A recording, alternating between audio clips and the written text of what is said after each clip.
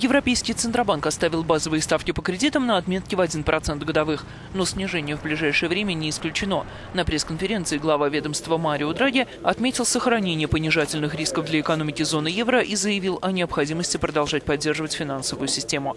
Одновременно деловой мир ждет, что ЕЦБ скажет по поводу спасения Греции. По данным прессы, мнения членов правления разделились.